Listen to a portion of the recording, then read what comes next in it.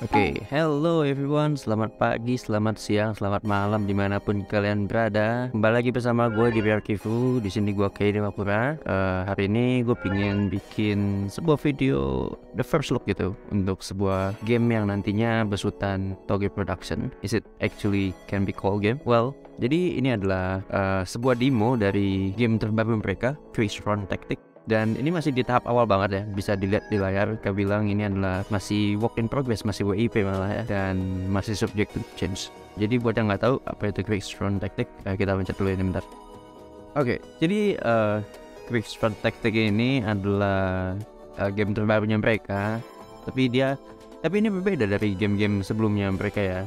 Karena kan biasanya mereka tuh bikin game-game indie adventure adventure naratif gitu Uh, kali ini RPG men. Ya. Yeah. Dan and what's and you know what? It's tactical RPG of all. Ya. Yeah. Tactical RPG, TRPG. Jadi ini sesuatu yang berbeda ya dari yang biasanya. Dan jujur aja sih gue nggak tahu apa yang mau gue expect sebenarnya. Temanya itu mecha military tactical RPG gitu di Indonesia di alternate history di tahun 1970-an era perang dingin gitu. Uh, jadi mungkin kayak temanya sendiri nanti bakal politik banget gitu. Karena settingnya sendiri memang di era perang dingin gitu. Oh ya by the way uh, ini game karena masih di awal. Kalian bisa mainin demonya gratis di Steam. Dan di sini dia ada send feedback dan join Discord. Jadi kalian bisa join juga Discordnya dan ngasih feedback langsung ke developernya. Oke jadi uh, daripada lama-lama aku ngobrol mendingan langsung masuk aja kita gamenya ya.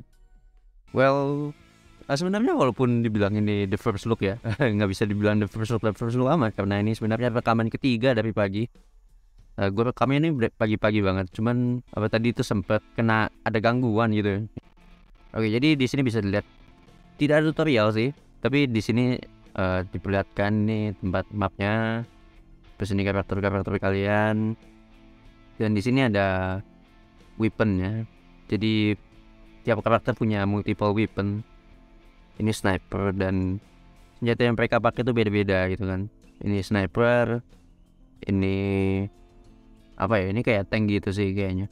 Pokoknya gitulah. Dan di sini ada AP setiap karakter punya AP-nya sendiri-sendiri dan ini tombol buat enter ini objektif kalian dan ini stats dan HP kalian. Kita majuin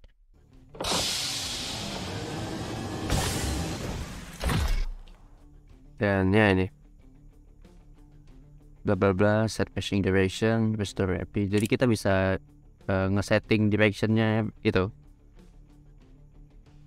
dan tiap action yang kalian lakukan di game ini akan consuming AP ya. Standar sih kayak JRPG kebanyakan. Not weird lah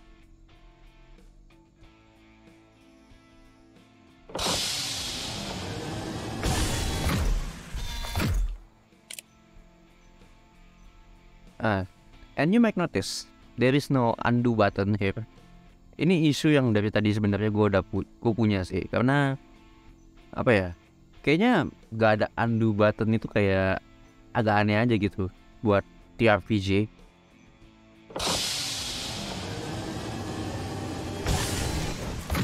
I mean dan ini kalian bisa pakai ini apa tentuin skill dan ini tombol untuk skill dan sebagainya macamnya gitu, untuk melakukan action ya. Dan tiap action itu akan consuming AP set make to fishing. Nah ini kita bisa nentuin directionnya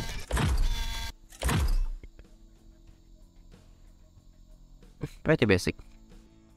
Dan kalau udah kalau unit kalian semua sudah melakukan action dia bakal otomatis press button gitu ke, ke musuh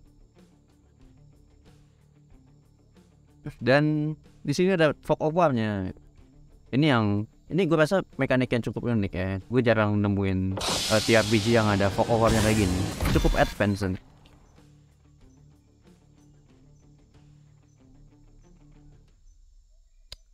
tapi uh, menurut gue sih menarik ya mekanik yang cukup in depth untuk sebuah TRPG apalagi ini TRPG ini mungkin bisa dibilang mekanik yang cukup baru kali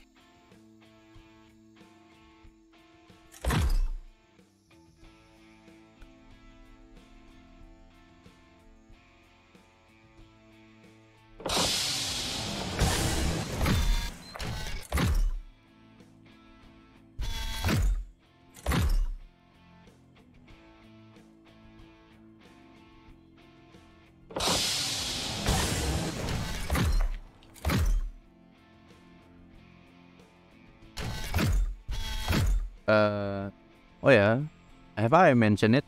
Game ini dibuat di Unity by the way. Dan ya let's see lah. Jancok by the way nama senjatanya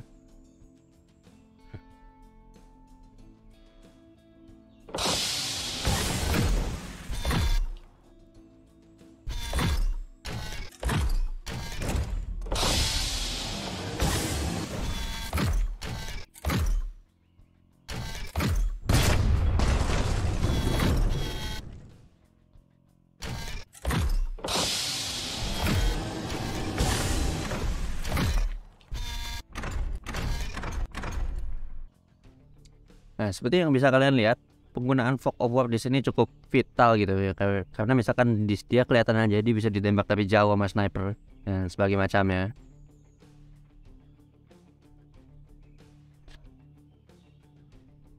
Dan ini ada beberapa skill kalian. Jadi pokoknya sistemnya kayak gitu.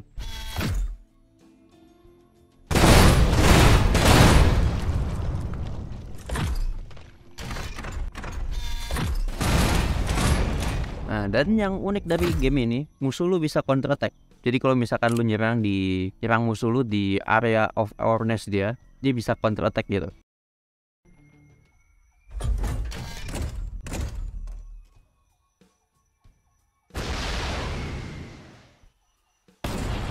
Dan dia dia mainnya agak pengen gitu. Dia pakai mortar dan untuk uh, penetrative dan sebagainya. Oh, and have you noticed there ada armor breaknya itu, icon shield broken gitu. Jadi ini ada durability-nya. Ya, mekanik yang cukup in depth sih, considering ini game indie dan ini masih, aduh, dan ini masih prototype juga. Nah, sniper ini agak unik. Dia bisa kokang gini.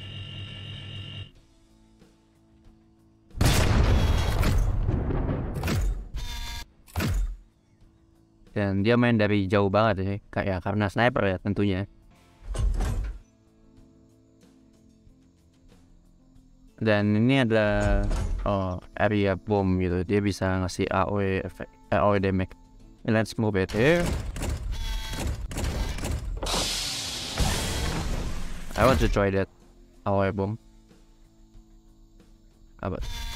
Oh kelihatan di fog over atau kita yang masuk ke area overnya dia? Ya yeah, anyway let's inhale them fast let's just kill them fast.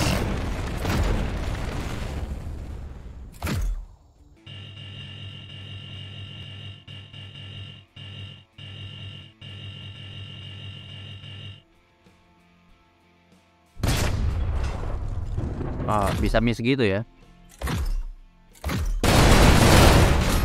wajar sih. Itu gue nembak tuh di pinggir banget sih emang salah gue sih harusnya itu. Ya mabet nah ini dia yang gue bilang counter attack tadi. Dia bisa counter attack kalau misalkan di area of awareness dia diserang dia bisa counter attack itu. Dan counter attack ini bagus dia bisa nambahin AP dan recover AP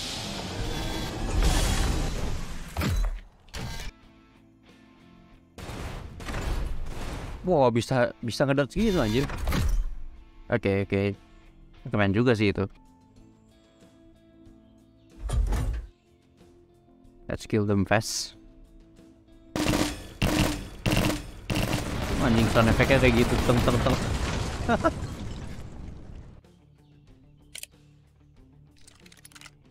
Kalian bisa reload senjatanya. Dia ada Ada pelurunya nih By the way kelihatan.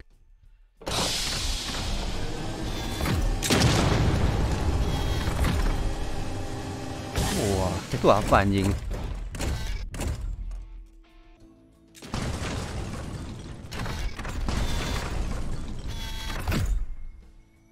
Dia bisa friendly fire kah anjing kalau misalkan gue taruh di sini terus di darts gitu kan pelurunya kan kena gue bisa flame friendly fire kah kalau bisa sih menarik sih. Itu nambahin dev dev lebih dalam lagi ke layer gameplaynya gitu. Sejujurnya ini gue cukup impress sih sejauh ini. Buat sebuah game indie apalagi TRPG dan dari game lokal gitu mekaniknya cukup in depth ini. Padahal masih masih demo ini.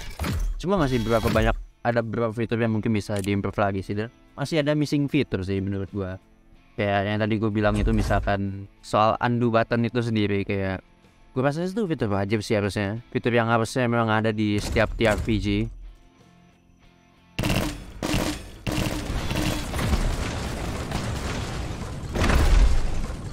Oh, one more down. Let's go. Should be dead back.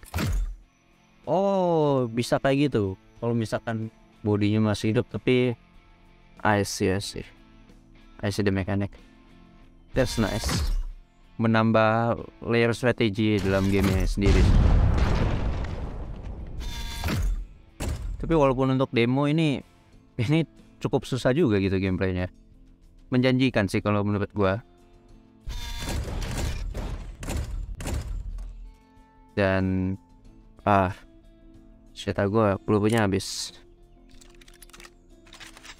jadi itu berpengaruh juga guys peluru di game ini. Well masuk akal sih karena memang pada dasarnya mereka pakai gun anjir yang emang notabene ada pelurunya jelas. Aduh miss lagi. Terus di counter attack koit lah. Oh enggak? Oh dan dia bisa ngetek lagi guys kalau misalkan AP nya masih ada. Dan dia ke dots lagi anjir oh dan bisa lagi. Pokoknya sampai AP nya habis. How how?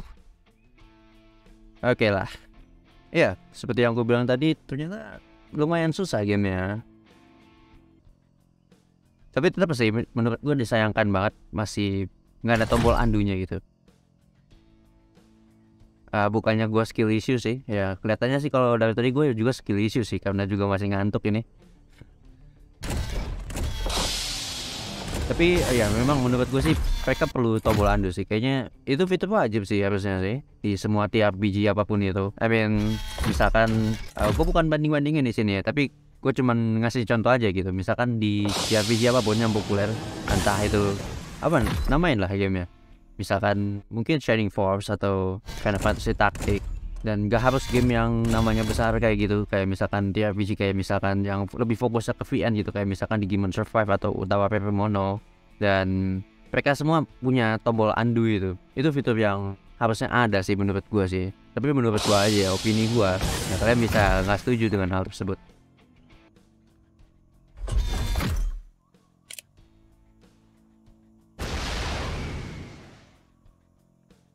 Objective complete. Objective complete. Oh, and there we go. Objective complete. Dan ini post combatnya. Next. Oh ya, yeah, and that's it. That's the game. Uh, singkat banget sih. Baru ya, yeah, I can see why it's called work in progress, not alpha or beta or whatever. Uh, dan kita cuma baru diperlihatkan satu kali combatnya, combat gameplaynya di sini. Uh, gue expect expect lebih sih I mean bukan untuk yang demonya ini tapi untuk ke depannya mungkin gue bisa naruh ekspektasi yang lumayan uh, menurut gue mereka udah punya basic gamenya sudah kelihatan gitu potensinya potensial sih.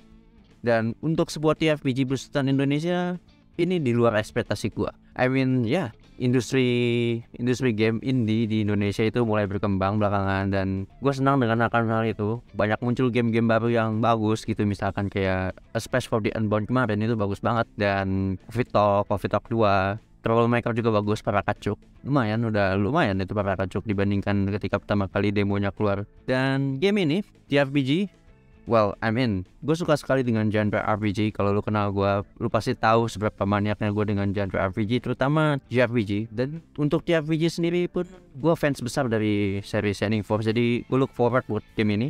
Dan uh, eh, gue nggak tahu gameplay gameplay apa lagi akan ditawarkan oleh game ini. Sebenarnya ekspektasi awal gue itu lebih ke Armor Core sih karena mereka tulisnya tuh mecha management gitu ya kan? Man manajemen mekanya gitu. Tapi ya itu sih dari gue oke? Okay? anyway thank you for watching. Uh, sorry kalau misalkan gua ada salah kata atau misalkan kata aku ulang-ulang. Karena ini unscripted video by the way. Karena ini the first impression gue sih. Ya nggak the first impression banget sih. Karena ini udah rekaman ketiga.